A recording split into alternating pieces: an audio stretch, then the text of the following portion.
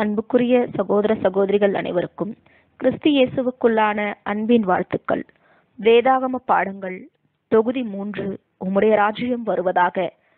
அத்தியாயம் ஆறு தலைப்பு அறுப்பு வேலை. பக்கம் இருநூற்று அறுபத்தி ஒன்று முதல் இருநூற்று அறுபத்தி ஏழு வரை. இந்த ராக்காலம் வரும்போது அறுக்கிறவர்கள் தங்களுடைய வேலையை நிறுத்தும்போது அது சுவிசேஷ யுகத்தின் இறுதி வேலை முடிந்துவிட்டது என்பதை காட்டும். என்பதை கவனிக்க வேண்டும். தெரிந்து கொள்ளப்பட்ட கிறிஸ்துவின் மனவாட்டி தொகையினர் எல்லாரும் முத்திரையிடப்பட்டு உலகத்திலிருந்து பிரிக்கப்பட்ட நிலைக்கு களஞ்சியத்திற்குள் இருக்கும் நிலைக்கு வந்திருப்பார்கள். மத்தேயு பதிமூன்றாம் அதிகாரம் முப்பதாம் வசனம். ஏனெனில் தேவன் தம்முடைய வேலை முடியும் வரை தம்முடைய வேலையை எதுவும் தடை பண்ணாதபடி பார்த்து கொள்ளுவார். பிறகு தேவனுடைய உண்மையும் விசுவாசமும் உள்ள ஊழியக்காரர்கள் அனைவரும் தங்களுடைய நெற்றியில் முத்திரையிடப்பட்டு இருப்பார்கள். மேலும் சுவிசேஷ யுகத்தின் வேலை முடிந்து இருப்பதால் இனி ஒருவரும் அதற்கு உரிய உயர்வான வெகுமதியை பெறும்படி அந்த வேலையை செய்ய இயலாது. இது ஏற்கனவே மகா மேன்மையும் அருமையுமான வாக்குத்தத்தங்கள் என்று கூறப்பட்டுள்ளது. இது வாசல் திறந்து இருக்கும் போது உள்ளே பிரவேசிக்கிற உண்மையாய் நடக்கிறவர்களுக்கு உண்டான வெகுமதியாகும். இரண்டு பேதரு ஒன்றாம் அதிகாரம் நான்காம் வசனம். ஆனால் நாம் இதிலிருந்து எல்லாரும் உண்மையுள்ளவர்கள் என்று நிரூபணம் ஆனவுடனே அவர்களுடைய வெகுமதியை பெறுவார்கள் என்று எடுத்துக்கொள்ளக்கூடாது. ஒருவேளை சிலர் உபத்திரவத்தின் இரவு கடந்து செல்லும் வரை ஜீவிக்கவும் கூடும். ஆனாலும் நம்முடைய எதிர்பார்ப்பு இது அல்ல. தேவனுடைய கற்பனைகளையும் இயேசுவின் மேலுள்ள விசுவாசத்தையும் காத்து கொள்ளுகிறவர்களாகிய பரிசுத்தவான்களுடைய பொறுமை இதிலே விளங்கும்.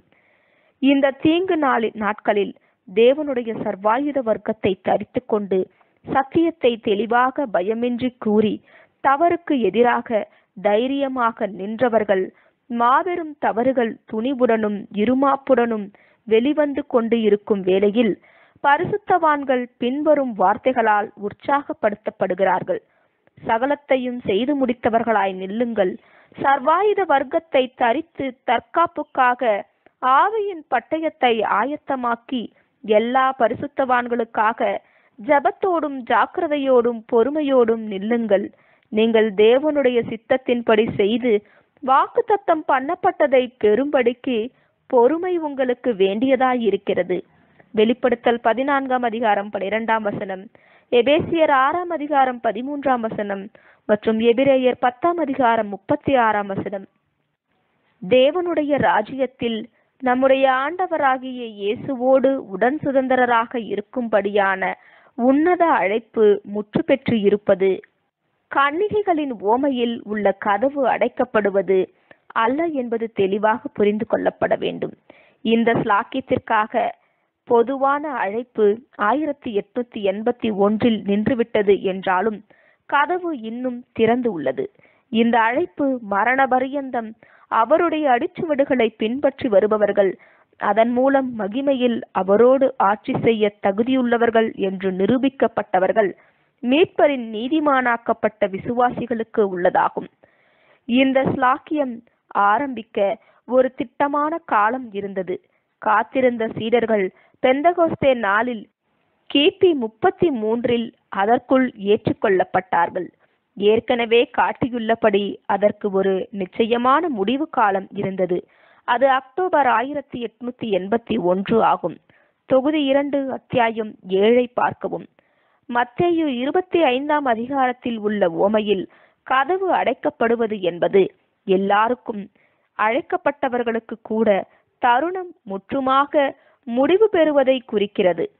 ஊழியத்தில் உண்மையாக இருப்பது நிமித்தம் வெகுமதியை பெற தகுதியுள்ளவன் என்று நிரூபிப்பதற்கான தருணம் கூட முடிவு பெறுவதை அது காட்டுகிறது. ஊழியம் செய்வதற்கான எல்லா வாய்ப்பும் ஒருவரும் கிரியை செய்யக்கூடாத ராக்காலத்தில் நின்றுவிடும். யோவான் ஒன்பதாம் அதிகாரம் நான்காம் வசனம்.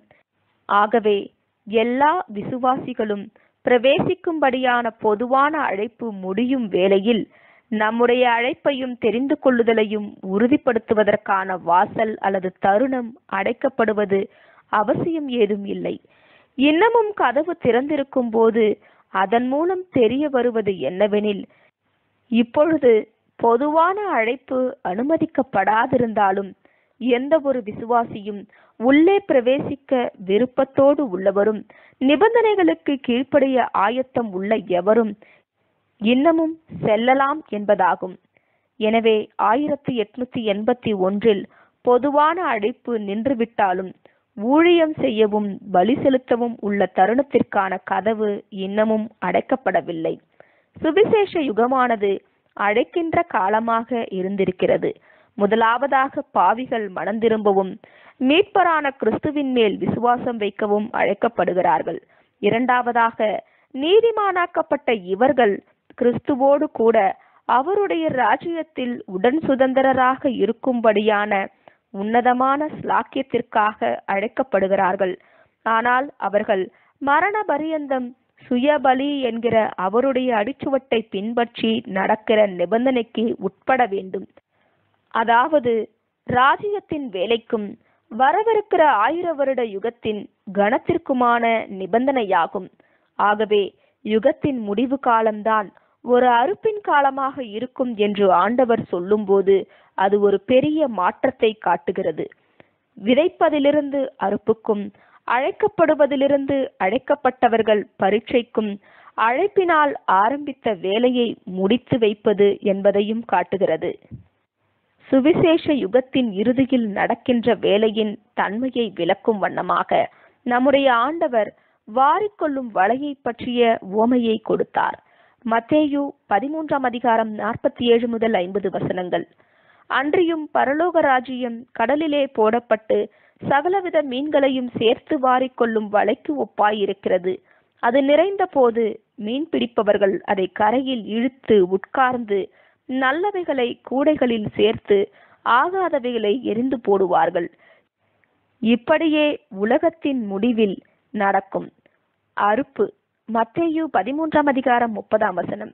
தேவ தூதர்கள் தேவ செய்தியை அளிக்கும் ஊழியக்காரர்கள் புறப்பட்டு நீதிமான்களின் நடுவிலிருந்து பொல்லாதவர்களை பிரித்து அவர்களை அக்கினி சூளையிலே மகா உபத்திரவத்திலே போடுவார்கள். அங்கே அழுகையும் பற்கடிப்பும் உண்டாயிருக்கும். இந்த ஓமை பேர்கிறிஸ்தவ சபையை வர இருக்கின்ற ஒரு பெயரளவான தேவனுடைய ராஜ்யத்திற்கு ஒப்பிட்டு கூறுகிறது. வலை கடலுக்குள் உலகத்திற்குள் போடப்படுகிறது.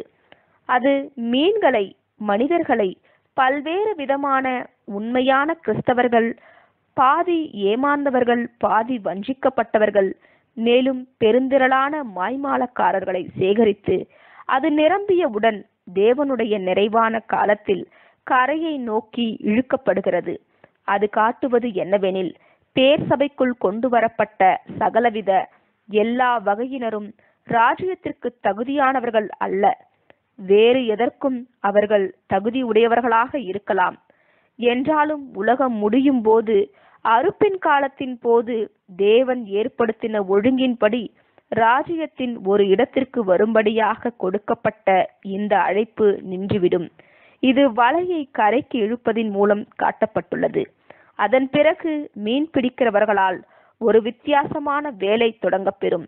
அதாவது பிரித்தெடுத்தல் வேறுபடுத்துதல் என்பவைகளாகும். இது விரும்பப்படத்தக்கவைகளை ஒரு பக்கம் சேகரிக்கும் வேளையில் அழைக்கப்பட்ட அழைப்பிற்கு அபாத்திரரை நிராகரித்தலும் நடைபெறும். ஏனெனில் அழைக்கப்பட்டவர்கள் அநேகர் தெரிந்து கொள்ளப்பட்டவர்கள் சிலர். மத்திய இருபத்தி இரண்டாம் அதிகாரம் பதினான்காம் வசனம். இந்த ஓமையில் உள்ள பிரித்தெடுக்கும் வேலை கோதுமையும் கலைகளும் என்ற ஓமையில் உள்ளது போன்றே இருக்கிறது. அது விதைப்பது அழைப்பு நிறுத்தப்படுவதை காட்டுகிறது. மேலும் அந்த வேலையிலிருந்து மாறி அறுப்பின் வேலை செய்ய செய்வதை காட்டுகிறது. ஆண்டவருடைய வேலையாட்கள் அவர் சொல்லுகிறபடி இப்படியாக வேலையை மாற்றுவார்கள். இப்படியானவர்கள் இரண்டு ஓமைகளிலும் தூதர்கள் என்று அழைக்கப்படுகின்றனர். தேவனுடைய விசேஷமான தூதர்கள் அவருடைய உண்மையான சீடர்கள் ஆவார்கள். அவர்கள் தாழ்மையுடன் ஆண்டவருக்கு அருகாமையில் இருந்து அவருடைய திட்டத்தை அறியவும் அவருடைய வேலைகளில் ஒத்துழைக்கவும் ஊக்கமுள்ளவர்களாக இருக்கிறார்கள். அவர்கள் அவருடைய காலங்களையும் வேலைகளையும் அறிகிற காரியத்தில் இருளில் விடப்படுவதில்லை. ஆனாலும் அந்த அறுப்பு மற்றும் சேகரித்தல் என்பது அறுப்பின் காலத்தில் ஜீவிப்பவர்களுக்கு மாத்திரம் பொருந்தும். இதற்கு முன்பாக மறித்தவர்களுக்கு பொருந்தாது. அவர்களில் ஒவ்வொருவரும் தன்னுடைய ஓட்டத்தை முடித்தவுடன் கவனத்திற்கு எடுத்துக்கொள்ளப்பட்டு பிரித்து எடுக்கப்பட்டு ராஜ்யத்தின் மகிமையுள்ள சிறுமந்தைக்குள் ஒன்று உள்ளே அல்லது வெளியே இருக்கும்படி தன்னுடைய நிலை என்ன என்பதை அறியும்படி வைக்கப்பட்டார்கள். இரண்டு தீமோத்தேயு நான்காம் அதிகாரம் எட்டாம் வசனம். வலையானது கடலில் உள்ள எல்லா மீன்களையும் பிடிக்கும்படியாக போடப்படவில்லை. பெரிய மீன் பிடிப்பவரான நம்முடைய ஆண்டவர். வலையில் எந்தவித வித்தியாசமான மீன்கள் வந்தாலும் ஒரு குறிப்பிட்ட வகையை சேர்ந்த மீன்களை ஒரு குறிப்பிட்ட அளவு மாத்திரம் பிடிக்கும்படியாக வைத்திருந்தார். தேவையான குறிப்பிட்ட எண்ணிக்கையான குறிப்பான வகை மீன் கிடைத்தவுடன் மீனை வகைப்படுத்தவும் பிரித்து எடுக்கும்படியாகவும் வலையை கரைக்கு இழுக்கும்படி கூறினார். இப்படி வலை கரைக்கு கொண்டு வரும் கொண்டு வரும்படி கட்டளை பிறப்பிக்கப்பட்டவுடன் யுகத்தின் ஆரம்பத்தில் கொடுக்கப்பட்ட கட்டளையான வலையை கடலிலே போடு என்பது முடிவுக்கு வந்தது என்று புரிந்து கொள்ள வேண்டும். மத்தேயு இருபத்தி எட்டாம் அதிகாரம் பத்தொன்பதாம் வசனம் இருபத்தி நான்காம் அதிகாரம் பதினான்காம் வசனம். மேலும் ஆண்டவரோடு இணைந்து செயல்படுகிற அனைவரும் அவர் சொல்லுகிறதற்கு செவி கொடுக்கவும் வேண்டும். இனியும் பொதுவான மீன் பிடிப்பதற்கு அவர்களுடைய நேரத்தை செலவிடக்கூடாது. ஆனால் தற்போதைய வேலையான தெரிந்தெடுத்தல் சேகரித்தல் என்பதற்கு நேரத்தை செலவிட வேண்டும். அப்பொழுது உள்ள சத்தியம் அழைப்பு விடுவதற்கானதாகும். ஆகவே தற்கால சத்தியம் அறுப்பின் சத்தியம். இப்பொழுது ஆண்டவர் பரீட்சிப்பதற்கும் பிரித்தெடுப்பதற்கும் உள்ளதாகும். ஆகவே தேவனுடைய ஊழியக்காரர் அவருடைய சத்தத்தை அவருடைய வசனத்தின் மூலம் கேட்டு விதைப்பதை விட்டு அறுக்கவும் பிடிப்பதை விட்டு மீனை பிரித்தெடுக்கவும் அழைப்பதை விட்டு இப்பொழுது சொல்ல வேண்டிய அறுப்பின் செய்தியை ஏற்கனவே அழைக்கப்பட்டவர்களுக்கு பிரசங்கம் பண்ணவும் செய்கிறார்கள். அவருடைய சத்தியத்தை கேட்கும்போது உண்மையுள்ளவர்களாக இருந்தால் உடனடியாக சந்தோஷத்துடனும் கீழ்ப்படிவார்கள். இப்படிப்பட்டவர்கள் யுகத்திற்கான அவருடைய திட்டத்தை குறித்து ஆண்டவரால் போதிக்கப்பட்டவர்கள் நாம் ஜீவிக்கிற காலங்களையும் வேலைகளையும் குறித்து இருளில் இல்லாதவர்கள். இவர்கள் ராஜ்யத்தின் நல்ல விதையை நிலத்தில் மனுக்குலத்தின் உலகில் விதைக்க நாடாமல் விசுவாச வீட்டாருக்கு ஏற்ற வேளையில் போஜனம் கொடுக்க வேண்டும். ஆண்டவருடைய பிள்ளைகளின் மத்தியில் தேவனுடைய ராஜ்யம் சமீபமாயிருக்கிறது என்ற நல்ல செய்தியையும் அது வெகு சீக்கிரத்திலேயே எல்லா ஜனத்திற்கும் மிகுந்த சந்தோஷத்தையும் ஆசீர்வாதங்களையும் கொண்டு வரும் என்கிற செய்தியையும் பரப்ப வேண்டும்.